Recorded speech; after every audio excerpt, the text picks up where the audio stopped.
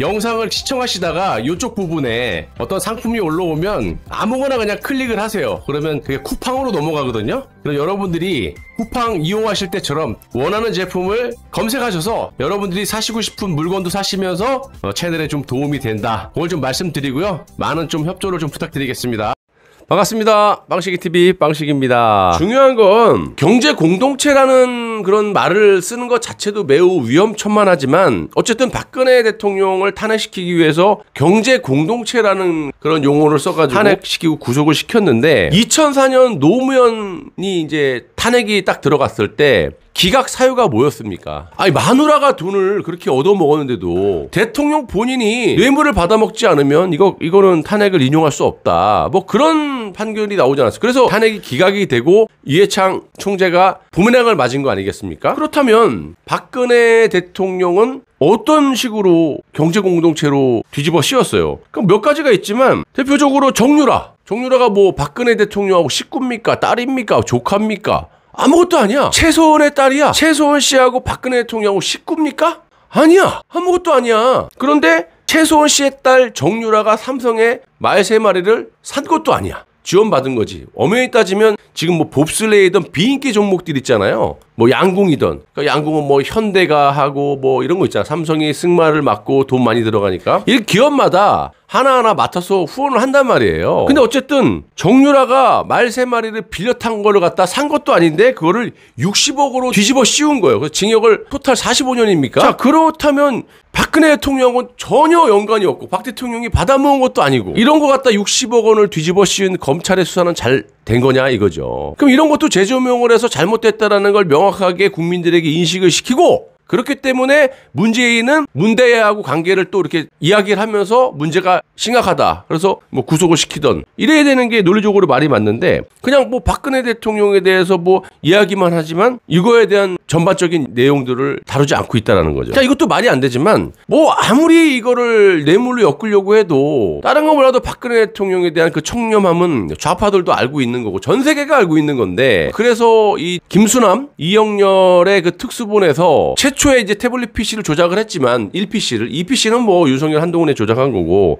야 이 뇌물까지는 덮어씌우긴 좀 그러다. 그래서 이제 어쨌든 특검에서 덮어씌운 건데 특검 수사 과정에서도 온갖 찌라시로 국민들은 속 였지만 정치적으로 탄핵은 시켰지만 결정적인 증거는 잡지 못했고 받은 게 이런 한 장 받은 게 없다라는 게 지금 상황에서 다 밝혀졌잖아요. 근데 왜 구속이 됐느냐? 이게 지금 보면은 장시호 문제도 요즘 많이 터지잖아요. 이 장시호가 위증을 했기 때문이에요. 그래서 김영철 검사 특검이라는 게 그렇게 중요했고 그거를 이재명 문재인이 범죄를 덮어버린 지금 상황이 벌어졌는데 이 경제 공동체로 이제 엮을 만한 뭐 증거가 없다 보니까 위증 교사를 시킨 거죠. 장시호가 뭐라고 법정에서 위증을 했습니까? 우리 이모가 나한테 그러더라. 삼성동 박근혜 대통령 자택에 10억 원의 동무치가 있다. 그거 가지고 유라하고 우리 손주들하고 갖다 써라. 이게 경제 공동체로 결정적인 이 증언으로 박근혜 대통령이 구속되고 최소원 씨가 구속된 거 아닙니까? 그게 다 위증으로 밝혀졌고 그 당시 팔딱팔딱 뛰었죠. 박근혜 대통령이나 최소원 씨가 무슨 소리냐? 아, 돈 있으면 니네들이 가서 압수수색을 통해서 한번 뒤져봐라. 돈 한 푼 있는가? 실제로 했잖아요.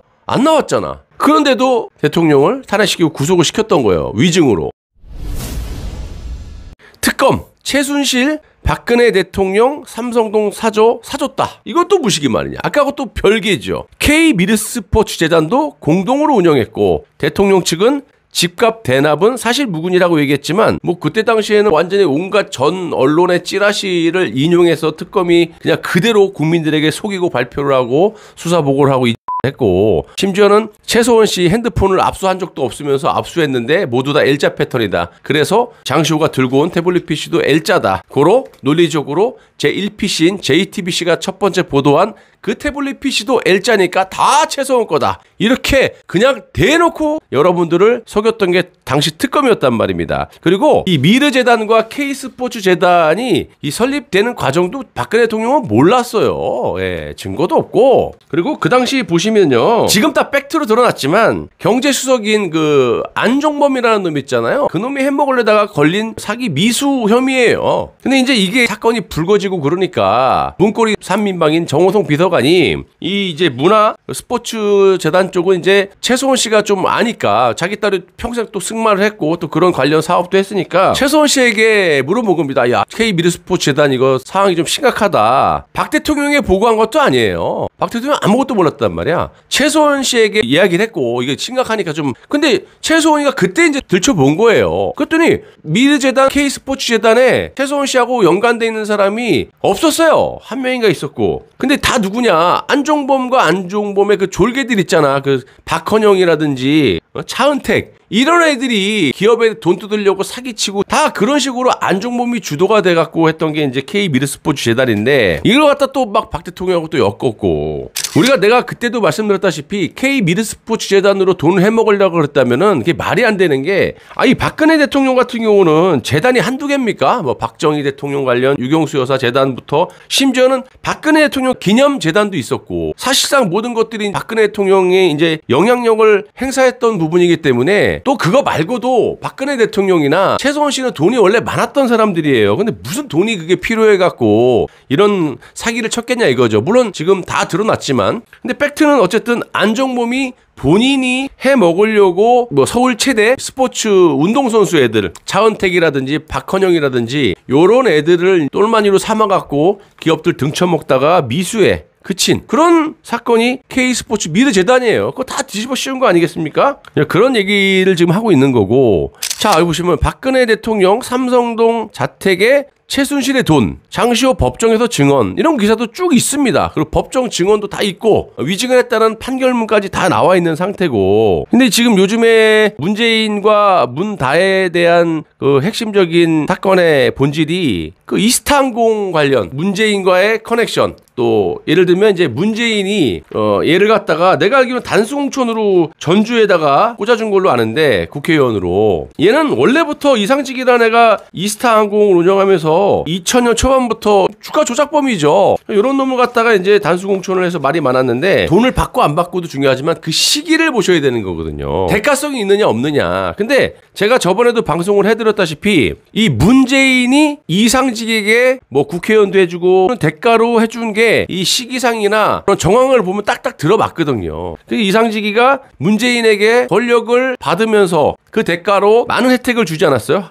심지어는 문재인의 사위 서모 씨 그 뭐 항공 관련에 아무런 커리어도 없는 사람을 갖다가 연봉 1억씩 줘가면서 또 오늘 사설을 보면은 문다혜가 태국인가 거기 있을 때 월세를 350만 원씩 얘가 대줬다라는 거 아닙니까? 그러면 월세가 350만 원이면요. 태국 같은 경우는 모르겠지만 베트남 같은 경우 지금 상황에서 호치민에서 월세 100만 원 이상만 내도 헬스장이라든지 수영장 시설 각종 이런 시설이 완벽하게 구비되어 있는 쇼핑 센터까지 있는 아마 어마어마한 그런 아파트에서 한 150만 원만 줘도 100에서 150만 원만 줘도 한 달에 살 수 있거든요. 그럼 350만 원이라면 월세가 어마어마한 혜택을 누렸다라는 거 아니겠습니까? 태국 같은 데서 월세를 350만 원을 내고 살았다. 그걸 지원을 해줬다. 야, 이건 뭐 어마어마한 겁니다. 그냥 뭐 청와대 같은 데 살았다라는 거야. 뭐 청와대보다 더 좋은 거지. 막 수영장 있고 정말 호요식 잘 먹고 잘 살았다라는 거 아닙니까? 그리고 문재인의 사위인 서 모 씨에게는 아무런 항공사 관련 커리어도 없는 애를 갖다가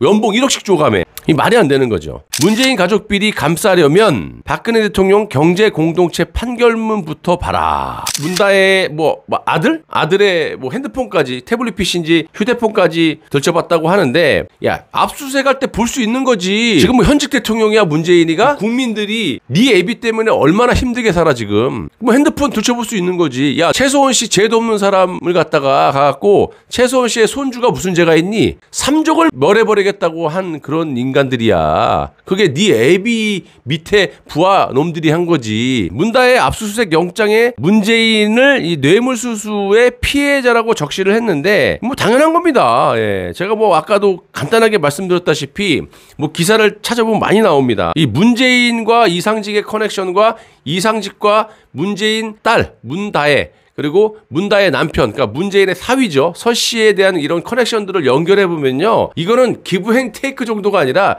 대가성으로 했다라는 게 너무너무나 정황적으로 명백해요. 그리고 금액도 보세요. 이상직 전 의원의 중진공 이사장 이것도 다 문재인이가 해준 거고 임명 후에 서 씨가 받은 월급 그러니까 임명 후에 문재인의 사위인 서 모 씨에게 항공사의 커리어도 없는데 채용을 시키고 1억을 주고 또 집세 등 2억 2,300여만 원을 줬다라는 거야. 이거를 이제 뇌물로 본다라는 거죠. 그리고 문재인의 이 부부가 아, 문재인과 김정숙이가 딸 부부의 생계비 일부를 부담해 왔었는데 서 씨의 취업으로 인해서 이런 문제가 해결된 만큼 타이 이스타젯, 이스타 항공 채용 자체가 문재인에 대한 직접 이익이 된다는 그런 취지라고 보고 있는 겁니다. 문재인이 중진공 이사장 자리를 이상직에게 주고 아이고 감사합니다. 아 이거 주고받는 게 있어야죠. 기브앤테이크인 데 이놈의 나라는. 그러니까 우리가 문재인 당신의 딸 그리고 무능력한 네 사위에 대해서 내가 집도 마련해주고 항공기도 왔다 갔다 공짜로 다 타게 해주고 당연히 또 first class 탔겠지. 그거 타고 다 공짜로 무료로 왔다 갔다 혜택을 주고 항공사 경력도 커리어가 하나도 없는 문재인의 사위 서모 씨에게 연봉 1억 원을 줘가며 어, 월세 350씩 태국에다 때려 박아주고 이런 금전적인 혜택을 줬다. 이거는 너무 명백한 거예요. 지금 이렇게 수사만 한다고 해서 잘한다 이렇게 너무 해서는 안 돼요. 지켜봐야 됩니다. 왜냐면 명확한 증거들이 너무나 많기 때문에 속전속결로 집어넣어도 돼요. 뭐 이번 주에 뭐 문재인 부부를 부른다 그러는데 김정숙하고 구속 수사하면 되는 거야. 도주의 우려, 증거 인멸에 명확한 사유가 있기 때문에 구속 수사를 해야 되고 전주지검 아까 서두에 말씀드렸다시피 제가 만약에 제 생각이 맞다고 하면은 나라를 위해서 조작을 하면 안 되는 거예요. 조작하지 말고 문재인은 조작할 필요가 없어요. 있는 그대로 터뜨려서 본인들 어, 영전을 하세요. 어, 나라를 살리고 영전하시고 조작을 하면 안 돼. 문재인은 조작할 필요 없어. 박근혜 대통령은 조작이 필요했지. 왜냐? 조작을 안 하면 탄핵 사유가 안 나오고 구속시킬 명분이 없으니까 저렇게 장시호를 시켜서 위증을 시키고 교사에서 법원에서 위증으로 구속을 시키고 증거를 조작해서 탄핵을 시키고 구속을 시키고 근데 문재인은 조작할 필요가 없어요. 그냥 있는 대로 수사만 제대로 하면 돼요. 눈치 보지 마십시오.